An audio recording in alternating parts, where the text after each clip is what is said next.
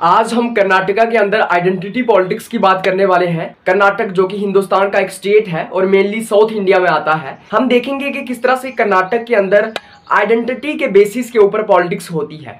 मैं आपको आइडेंटिटी का मतलब समझाऊँगा, लेकिन उससे पहले मैं आपको ये बता दूँ कि हमारे पूरे टॉपिक का नाम है आइडेंटिटी पॉलिटिक्स इन कर्नाटका और उसके आगे इसके अंदर आता है शिफ्टिंग पैराडिगम्स मतलब कि हम देखेंगे कि किस तरह से कर्नाटक के अंदर आइडेंटिटी पॉलिटिक्स होती है और उसी के साथ साथ हम इसके अंदर देखेंगे शिफ्टिंग पैराडिगम्स शिफ्टिंग पैराडिगम्स का यहाँ पे क्या मतलब है? आपको नाम थोड़ा सा मुश्किल लग रहा होगा। लेकिन इसका मतलब यही है कि किस तरह से टाइम टाइम के ऊपर कर्नाटका के अंदर चेंजेस आती हैं। कर्नाटका की पॉलिटिक्स के अंदर क्या शिफ्ट आ रहे हैं? क्या ट्रेंड्स हैं वहाँ पे? किस तरह की राजनीति हो रही है? अगर वहाँ पे आइडेंटिटी पॉलिटिक्स हो रही है तो किस तरह से हो रही है? उस चीज़ की यहाँ पे बात की जाएगी। तो हम इसके अंदर यही देखेंगे कि किस तरीके से वहाँ पे ये सब चेंजेस आ रही है। टाइम टू टाइम किस तरह से वहाँ पे राजनीति हो रही है, इसी चीज़ की बात की जाएगी। तो सबसे पहले हम इसके अंदर आइडेंटिटी पॉलिटिक्स का मतलब देखेंगे। आइडेंटिटी पॉलिटिक्स का मतलब क्या होता है? जैसे कि यहाँ पे डेफिनेशन लिखी है identity politics refers to a political position based on interest opinion and perspectives of the social group with which the people identify themselves इस डेफिनेशन का मतलब ये हुआ आइडेंटिटी पॉलिटिक्स का यहाँ पे मतलब ये हुआ मतलब कि राजनीति हो रही है एक सोशल ग्रुप के बेसिस के ऊपर, जिससे आप उस सोशल ग्रुप के बेसिस के ऊपर अपने आप को जो है रिकग्नाइज कर रहे हैं। मैं आपको और अगर इजिली समझाऊं तो इसका मतलब ये हुआ कि एक सोशल ग्रुप के बेसिस के ऊपर राजनीति हो रही है। जैसे कि फॉर एग्ज़ाम्पल मैं राजपूत हूँ तो इसका मतलब ये है कि मैं राजपूतों के ऊपर राजनीति कर रहा हूँ। मैं राजपूतों के इंटरेस्ट को आगे रखूँगा। मैं कहूँगा कि राजपूतों को प्रताड़ित किया जा रहा है। मैं राजपूत के डिमांड्स को आगे रखूँगा। इसी तरह से मज़हब के आधार के ऊपर हो सकती है। मज़हब के आधार के ऊपर लोग अपने आप को आइडेंटिफाई कर सकते हैं। जैसे कि कोई कहे कि हम मुस्लिम होते हैं और हम मुस्लिम्स की राजनीति करेंगे। ऐसे ही जात के नाम पे राजनीति हो सकती है, जैसे कि कोई कहे कि दलितों के नाम पे राजनीति होगी। तो इसी तरह से जब एक व्यक्ति या एक पॉलिटिकल पार्टी एक सोशल ग्रुप के बेसिस के ऊपर अपने आप को आइडेंटिफाई करने लगते हैं और उसके उसके बेसिस के ऊपर राजनीति होती है, उसी को हम आइडेंटिटी पॉलिटिक्स कहते हैं। फॉर एग्ज़ाम्पल हिंदुस्तान के अंदर बहुत सारी पॉलिटिकल पार्टीज़ हैं जो आइडेंटिटी पॉलिटिक्स करती हैं। जैसे कि अगर आप शिवसेना की बात कर लो, वो सिर्फ़ और सिर्फ़ हिंदुओं के ऊपर राजनीति करते हैं। हिंदुओं के इंटरेस्ट की बात करते हैं, हिंदुओं को बचाने की बात करते हैं। वहीं दूसरी ओर अगर मैं अकाली दल की बात करूँ, वो सिर्फ़ सिखों की बात करते हैं। मैं अगर AIMIM की बात करूँ, जो कि असुद्दीन की पार्टी, जो कि ओवेसी की पार्टी है, वो हमेशा मुस्लिम्स की बात करते हैं। तो इसी तरह से ये जो अलग अलग पार्टीज़ होती हैं, जैसे बहुजन समाज पार्टी है मायावती की, वो जो है दलितों की बात करते हैं, बहुजन समाज की बात करते हैं तो जब राजनीति किस बेसिस के ऊपर होती है, राजनीति एक सोशल ग्रुप के बेसिस पे होने लग पड़ती है, कि मैं मैं तो डोगरा हूँ, और मैं चाहता हूँ कि डोगरों के इंटरेस्ट को फुलफिल किया गया, जाए, क्योंकि हमें कश्मीरियों ने पहले से दबा के रखा हुआ है तो मैं बाहर निकलूँगा और कहूँगा कि मैं जो है वो डोगरा के इंटरेस्ट की बात करूँगा, और जब मैं डोगराओं के ऊपर राजनीति कर रहा हूँ, इसका मतलब मैं आइडेंटिटी पॉलिटिक्स कर रहा हूँ आइडेंटिटी पॉलिटिक्स का सिंपल मीनिंग ही यही होता है कि अपने आप को एक ग्रुप के साथ पहचानना, अपने आप को एक ग्रुप के साथ रिकग्नाइज करना, चाहे वो कास्ट हो, चाहे वो जेंडर हो, चाहे लैंग्वेज हो, चाहे एथनिसिटी हो। लैंग्वेज के बेसिस के ऊपर कैसे? मान लो कश्मीरी है, कश्मीरी लीडर्स उठेंगे, बोलेंगे, हम कश्मीरियों के इंटरेस्ट की बात करेंगे। तो वो क्या है? वो आइडेंटिटी पॉलिटिक्स है। जैसे कि यहाँ पे जो है लीजन के बेसिस के ऊपर मैंने आपको बता दिया जेंडर के बेसिस के ऊपर, महिलाओं के नाम पर राजनीति करना। ये कहना कि हम महिलाओं के क्या बोलते हैं हकों की बात करेंगे। महिलाओं को पहले से ही प्रताड़ित किया जाता है। That is also identity politics उसके बाद इसके अंदर एथनिसिटी के बेसिस के ऊपर मतलब कि अपना एक ग्रुप होना, एक सोशल ग्रुप के बेसिस के ऊपर अपने आप को आइडेंटिफाई करना, ये एथनिसिटी होता है। जैसे कि अब मान लो रीजन के आधार के ऊपर पॉलिटिक्स करना कि मैं जम्मू का रहना वा, रहने वाला हूँ और जम्मू के लोगों की नौकरियाँ जो है वो बिहार के लोग छीन रहे हैं। तो ये ये राजनीति होती है। इसी को आइडेंटिटी पॉलिटिक्स कहते हैं।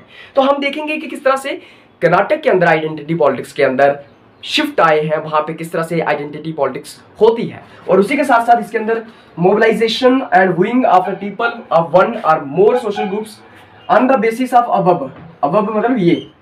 Aspects are markers of identities is popularly known as identity politics जैसे कि मैंने आपको बता दिया, लोगों को इन सब ग्रुप्स के बेसिस के ऊपर जो है मोबिलाइज करना, इकट्ठा करना, उनके वोट हासिल करना, उनको जो है वो करना और उसी के साथ साथ इन जब लोगों को इन बेसिस के ऊपर जो है मोबिलाइज किया जाता है वोट हासिल किए जाते हैं, उसी को हम आइडेंटिटी पॉलिटिक्स कहते हैं। आइडेंटिटी पॉलिटिक्स कई प्रकार की हो सकती है, जैसे इसके मेन मार्कर्स हैं कास्ट बेस्ड आइडेंटिटीज मतलब कि जात के नाम पे राजनीति, जात के नाम पे जो है आइडेंटिटीज होना, कि हम दलित दलित समुदाय के लोग हैं, कि हम राजपूत समुदाय के लोग हैं, कि हम जो है वो ब्राह्मीण समुदाय के लोग हैं। तो ब्राह्मीण के नाम पे राजनीति, दलित के नाम पे राजनीति और उसके बाद राजपूत के नाम पे राजनीति। और हमारे देश में खूब बखू होती है। हमारे देश में आज भी देखना आपकी कास्ट के नाम पे अपने आप को आइडेंटिफाई किया जाता है नहीं किया जाता है। आप लोगों में से ही कुछ लोग होंगे जो बोलेंगे, हम तो राजपूत होते हैं, हम तो कट्टर राजपूत होते हैं। आप ही में से कुछ लोग ऐसे होंगे जो बोलेंगे, हम ब्राह्मण होते हैं, हम हम क्यों झुकेंगे किसी के आगे? आप ही में से कुछ लोग होंगे जो बोलेंगे, हम मुस्लिम होते हैं,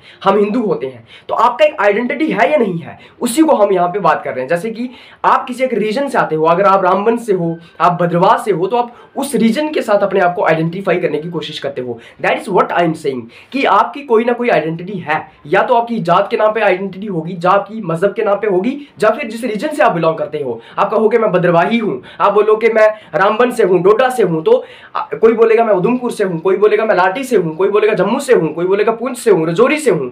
That is what identity is known as वही आइडेंटिटी होती है। उसके बाद इसके अंदर रिलीजन बेस्ड आइडेंटिटी जैसे मैंने आपको बताया मज़हब के नाम पे, और उसके बाद लैंग्वेज बेस्ड मतलब कि भाषा के नाम पे भी हो सकता है भाई। जैसे कि जम्मू कश्मीर के अंदर पहाड़ी पीपल है, पहाड़ी स्पीकिंग पीपल तो वो हमेशा एस टी स्टेटस की डिमांड कर रहे थे। उसके बाद बहुत अलग अलग भाषाएँ हैं यहाँ पे। गोजरी है, गोजरी भाषा वाले लोग जो है, अपनी डिमांड्स हैं, उसके ऊपर अपनी राजनीति है। तो यहाँ पे ये सब फैक्टर्स रहते हैं, इसके अंदर आइडेंटिटी पॉलिटिक्स के अंदर। उसके बाद अब हम यहाँ पे डिस्कस करेंगे कि कर्नाटका की पॉलिटिक्स के अंदर किस तरह से शिफ्टिंग पैराडिगम्स देखने को मिल रहे हैं।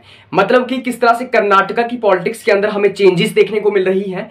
क्या वो अलग अलग फेजेस हैं कर्नाटका की पॉलिटिक्स के? वो सब हम यहाँ पे डिस्कस करेंगे। हम यहाँ पे ये भी डिस्कस करेंगे कि किस तरह से आइडेंटिटी जो है, वो यहाँ पे रोल प्ले कर रही है। तो जब मैं कर्नाटका के शिफ्टिंग पैराडिगम्स की बात करता हूँ, इसके अंदर सबसे पहले आता है सोसाइटी ऑफ़ कर्नाटका जो है, वो प्रीडोमिनेंटली रूरल है। मतलब कि जो कर्नाटका के अंदर सोसाइटी है समाज है वो ज़्यादातर रूरल एरिया से संबंध रखते हैं। मतलब गाँव क्षेत्र से वहाँ पे ज़्यादातर लोग आते हैं। तो वहाँ पे जो सोसाइटी जो है, वो गाँव में ज़्यादा रहते हैं। उसके बाद इसके अंदर आता है जो पॉलिटिकल पार्टीज़ हैं, वो कास्ट या फिर रिलीजियस आइडेंटिटीज का इस्तेमाल करते हैं वोट बैंक हासिल करने के लिए। कर्नाटका के अंदर हमें टाइम टू टाइम देखने को मिला है कि जो पॉलिटिशियंस कर्नाटका के हैं, जो वहाँ की मेन स्ट्रीम पोलिटिकल पार्टीज़ हैं, उन्होंने हमेशा कास्ट या फिर रिलीजन का एजेंडा वहाँ पर यूज़ किया है, ताकि वो वहाँ पर वोट हासिल कर सकें, ताकि वो वहाँ पर पोलराइजेशन कर सकें। और इसीलिए आइडेंटिटी जो है, वो वहाँ पे काफ़ी ज़्यादा रोल प्ले करती है। मतलब कि कोई भी पॉलिटिकल पार्टी जो है, वो वहाँ पे सरकार नहीं बना सकती है, बिना रिलीजन या कास्ट का कार्ड खेले। उसके बाद इसके अंदर आता है टू कम्युनिटीज है वहाँ पे। अगर मैं कर्नाटका की बात करता हूँ, वहाँ पे दो कम्युनिटीज आती हैं, जो कि बड़ी पॉपुलर कम्युनिटीज हैं, और इनका बड़ा रोल है कर्नाटका की पॉलिटिक्स के अंदर। एक तो वहाँ पे है लिंगायत कम्युनिटी और दूसरी वहाँ पे है बोकालिका कम्युनिटी कौन सी कम्युनिटीज है? दो कम्युनिटीज है कर्नाटका के अंदर। एक है लिंगायत कम्युनिटी और एक है बोकालिका कम्युनिटी जो लिंगायत कम्युनिटी है ना, इनकी 17 परसेंट पॉपुलेशन है कर्नाटका के अंदर। कितनी? कितनी? 17 परसेंट पॉपुलेशन है कर्नाटका के अंदर। और ये 120 सीटों को डोमिनेट करते हैं कर्नाटका की पॉलिटिक्स के अंदर। टोटल कर्नाटका के अंदर 224 सीटें हैं। तो आपको यहाँ पे देखने को मिल रहा होगा कि ये जो लिंगायत कम्युनिटी है, इनकी डोमिनेंस है वहाँ पे। इनकी पॉपुलेशन भी सत्रह है और एक सौ बीस सीटें वहाँ पे इनकी डोमिनेंस है। मतलब कि अगर आपको 120 सीटें जीतनी है तो वहाँ पे आपको लिंगायत कम्युनिटी को खुश करना होगा। तो आप देख रहे हैं किस तरह से आइडेंटिटी पॉलिटिक्स यहाँ पे अब खेली जाएगी। मतलब कि एक कैंडिडेट को, एक पॉलिटिकल पार्टी को जीतने के लिए क्या करना होगा? लिंगायत कम्युनिटी को खुश करना होगा। अगर लिंगायत कम्युनिटी खुश तो तो 120 सीटें जो है वो पास आ गई हैं। तो 120 सीटें डायरेक्टली हमें लिंगायत कम्युनिटी से मिल जाएँगी। लिंगायत सेक्शन से मिल जाएँगी अगर हम इनको खुश कर देते हैं, इनके लिए काम करते हैं। तो आप देख रहे हैं किस तरह से आइडेंटिटी की पॉलिटिक्स अब यहाँ पे होगी। पॉलिटिकल पार्टी चाहेंगी कि वो लिंगायत कम्युनिटी से अपना सीएम बनाए, लिंगायत कम्युनिटी से वो अपना कैंडिडेट खड़ा करें और वो लिंगायत कम्युनिटी की बात करें, इनके वोट बैंक को हासिल करने की कोशिश करें अगर उनको सरकार बनानी है। और वहीं दूसरी ओर हम देखते हैं कि ये जो लिंगायत कम्युनिटी है आज तक टोटल तेईस सीएम हुए हैं कर्नाटका के अंदर। उसमें से दस सीएम जो है वो लिंगायत कम्युनिटी से आते हैं। तो आपको यहाँ पे देखने को मिल रहा है। आपको यहाँ पे दिखेगा कि किस तरह से यहाँ पे जो आइडेंटिटी है वो अपना रोल प्ले करती है। आइडेंटिटी इसलिए रोल प्ले कर रही है क्योंकि लिंगायत कम्युनिटी हमें देखने को मिल रहा है। सेवनटीन उनकी पॉपुलेशन है और एक सौ बीस सीटों को डोमिनेट करते हैं और इसलिए हमें अक्सर वहाँ पर देखने को मिलता है कि तेईस सीएम में से दस सीएम जो है वो लिंगायत कम्युनिटी के हैं। उसके बाद इसके अंदर एक और कम्युनिटी आती है जिसका नाम है बोकालिगा कम्युनिटी ये बोकालिगा जो कम्युनिटी है, ये सार सीटों को नॉमिनेट करते हैं। तो ये जो सार सीटें हैं, ये भी बड़ी महत्वपूर्ण है। ये किंग मेकर का काम करती है बोकालिगा कम्युनिटी तो बोकालिगा कम्युनिटी को अगर खुश करोगे आप तो साठ सीटें आपको मिल जाएँगी। तो यहाँ पे भी आइडेंटिटी का कार्ड खेला जाएगा, नहीं खेला जाएगा। यहाँ से भी कोई एक लीडर उठाया जाएगा पोलिटिकल पार्टी के द्वारा।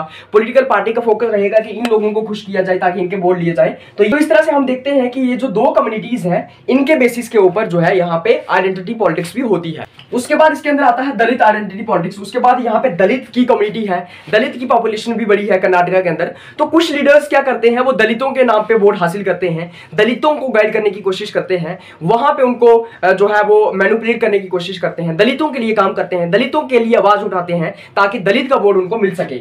आइडेंटिटी पॉलिटिक्स का मतलब आपको समझ आ रहा है ना यहाँ पे, किस तरह से एक समुदाय के नाम पे वोट हासिल किए जा रहे हैं और एक समुदाय किस तरह से, एक कम्युनिटी किस तरह से अपना रोल प्ले कर रही है पॉलिटिक्स के अंदर। अगर ये दो कम्युनिटीज खुश तो मान लो एक पॉलिटिकल पार्टी की सरकार बन गई तो आइडेंटिटी का इस्तेमाल किया नहीं किया, समुदाय के नाम पे राजनीति हुई नहीं हुई, उसके बाद दलित दलितों को खुश करना है तो दलितों का वोट बैंक लेने के लिए दलित को खुश करना है। उसके बाद इसके अंदर आता है INC revived in 2023 but lack base in Lingayat community Indian National Congress जो है आ, 2023 के चुनाव जो है वो इंडियन नेशनल कांग्रेस ने कर्नाटक के अंदर जीते।